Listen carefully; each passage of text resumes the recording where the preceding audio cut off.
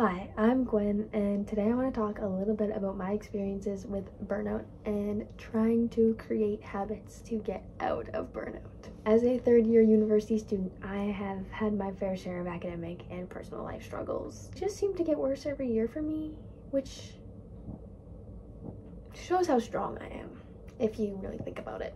The fact that I haven't given up yet, that's what I try to focus on, um, instead of just focusing on the fact that somehow every year something happens that makes it so much harder to stay in school. That's not the point. That brings me, I guess, straight into the first thing is I try really hard now to have a more positive mindset because I can tell you my first year I was like, I'm stupid, I'm a failure, I don't know how to do anything right, and I was so convinced that there was something wrong with me because I went from getting extremely high grades in high school to failing half of my exams in my first year of university.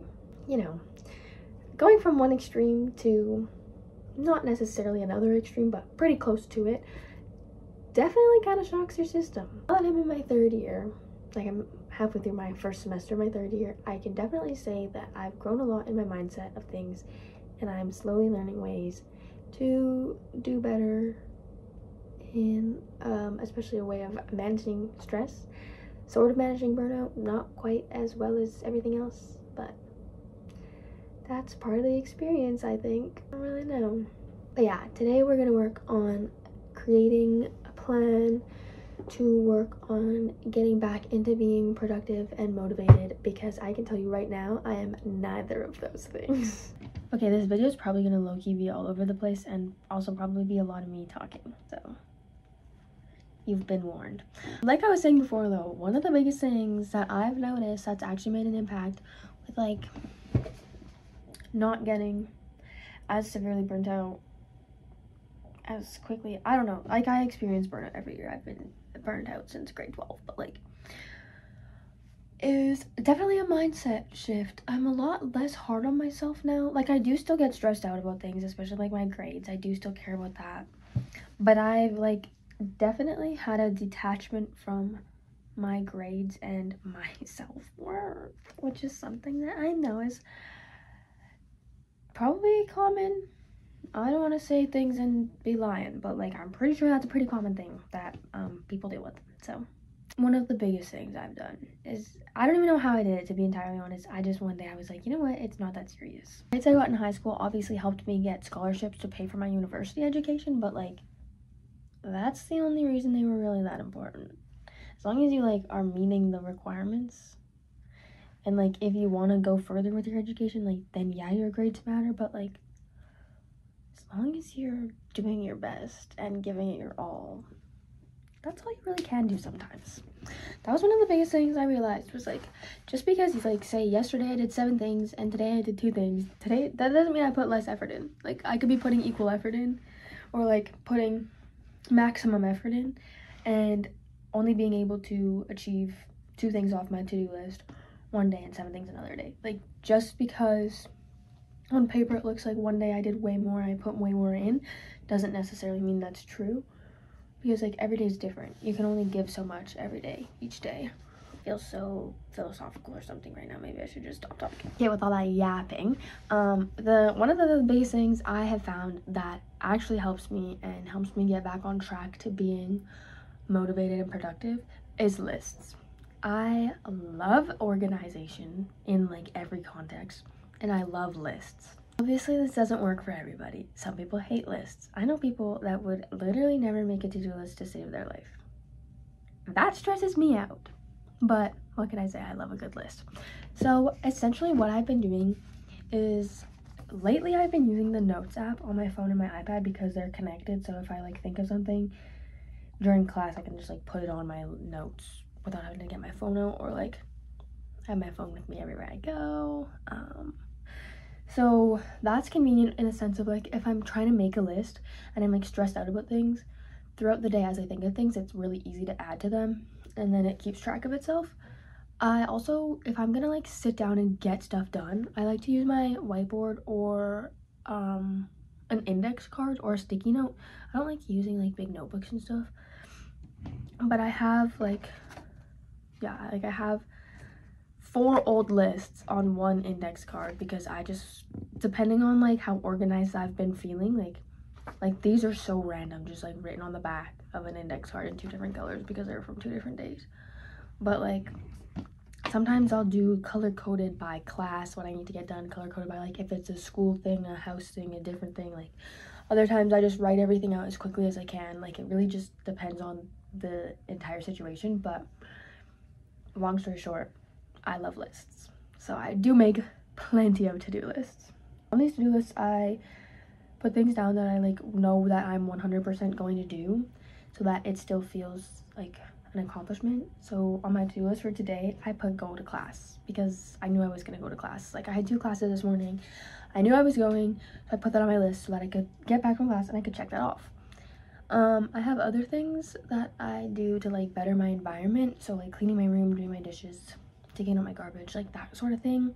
Because those are things that don't necessarily need to get done today, but I know that if I get them done today, I'm gonna feel productive because my room is gonna be clean. And that's something I've noticed a huge difference is like the environment that I'm in plays a huge role on my mental state and my ability to focus and do school. Lately, my environment's been genuinely horrible. Um, my room's been clean, but sometimes it's just not quite enough. So, by taking control of what I can control, like cleaning my room, I create a space that's like beneficial for me. So, even though everything else in my life right now seems like it's just going absolutely insane and all over the place, when my room is clean, I feel like at least I have one thing in control. I also do like random chore type things. Like I want to get my laundry done today or tomorrow. So that's on my list because that's just another one of those things that doesn't need to get done today. But once it's done, I'll be like proud of myself for getting it done and I'll feel accomplished. And then of course I have all my daily to-do stuff for school because it never stops. So some days, okay, with my school to-do list, I do it a little bit differently. Like I add them onto this list, but I have a calendar where I write out each thing and then I cross it off as I do it for my school stuff so it's color coded by class. This is like my favorite thing. I don't know. I use Good Notes for all my notes, so I just make this in Good Notes. And yeah, I I like this because if I don't finish something one day and it's not something that needs to get done, it's so easy to just move it to the next day. And usually, like, I've really been working on not just continuing to push things. Like, I've been working on giving myself, like, I can move it two or three times, depending on what it is. Like, I don't want to move it too much. Um, but it makes it feel so much better once you, like, can cross everything out in one day and then you feel good because you got stuff done and then you feel more motivated to do the same thing again the next day. On my to-do list, another like category of things I put down are like things that are fun to me or like things that are involving a hobby that I want to get done by a certain day, but it's just like something fun to do. So for today's to-do list, and today's October 30th, I want to redo my whiteboard calendar for November so that I mean, it's almost November, so that's just something that, like, that could get done tomorrow or the next day, but it will be fun for me to do today.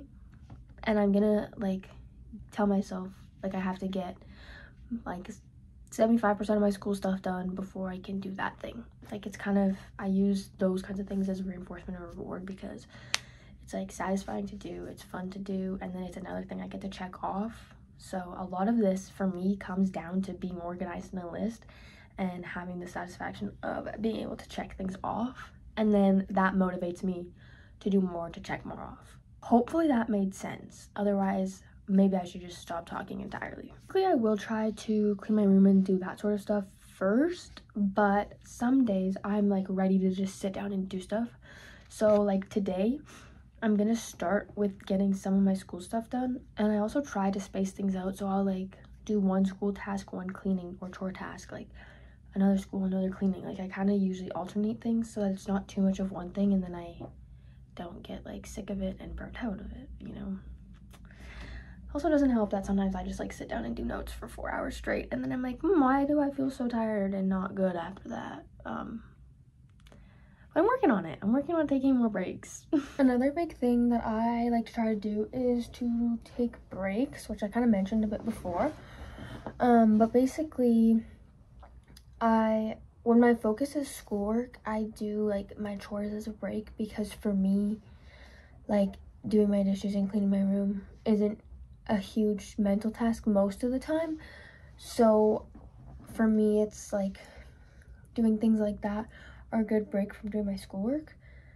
Obviously, that's definitely not the case for everybody, but that's just something that works for me. And then also like like reading my whiteboard calendar as a break from schoolwork. So I'm like still being productive, so I still feel accomplished and I still feel a little bit more motivated than if I just take a break by like scrolling on my phone kind of thing. I've also been really working on fixing my sleep schedule and maintaining better sleeping habits because obviously the more rested you feel like the more productive you're going to be. At least that's just what I've noticed for myself. So I've been working on going to bed earlier and waking up at 6.30. I will be going to bed at like 9 because I'm extremely tired today. So I definitely noticed like as the day's gone on, I've been slowing down at things, but I got my like three major school things that I wanted to get done today done. Now I just want to work on my research paper, but that's due like in two weeks. So that kind of thing is like getting ahead of due dates, I guess, is like something that I find to be really helpful because I feel so accomplished when I finish things like a decent chunk of time before the due date. Not two weeks before the due date kind of thing, but like even if I finish something the day before the due date, depending on what it is, like that just makes me feel so accomplished and then I want to work harder to get that feeling again. And so yeah, for me today, like I'm just gonna keep slowly working at school. Um, also, like this weekend, I'm going to do a lot more school because I have four midterms. So I'm gonna need to be studying a ton this weekend.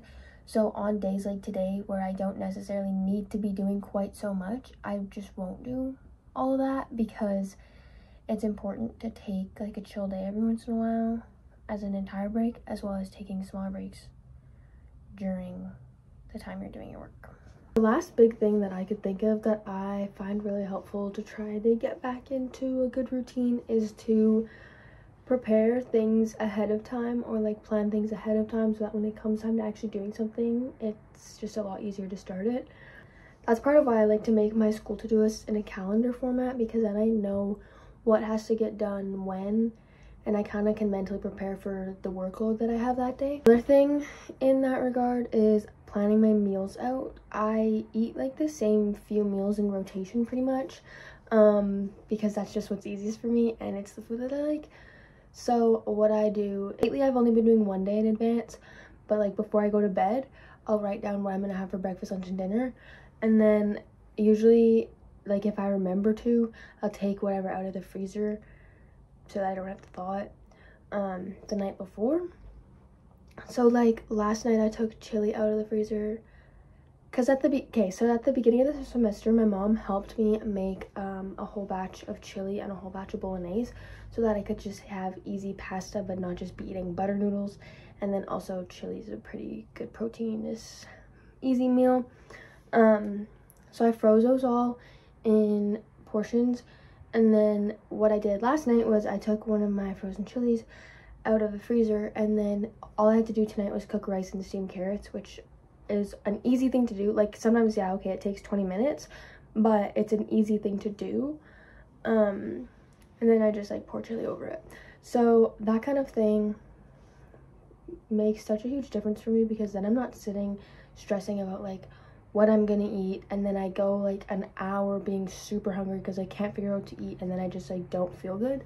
So by planning what I'm gonna eat at least the day before or even sometimes the morning of because what I have for breakfast usually it's like a bagel or cereal like there's not that's not as much stress because they're all easy things to make. Lunches and my dinners once those are planned I find it actually makes a huge difference for me. So yeah that's a little bit about my experience with working on overcoming burnout obviously everyone's different and like there's also some things i know i could be doing better but i'm giving it my all one day at a time trying to just get into a better routine of things so i hope you enjoyed this video and i hope that maybe it gave you some ideas and inspiration to make yourself hopefully more productive and motivated.